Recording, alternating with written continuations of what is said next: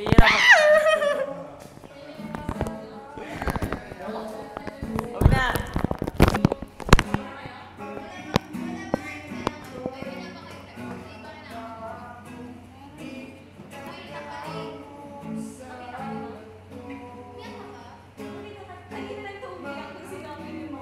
Antecedent.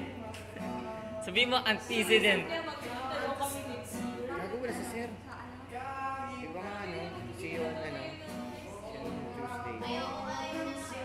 Dito muna tayo. Oras pa lang. kasi.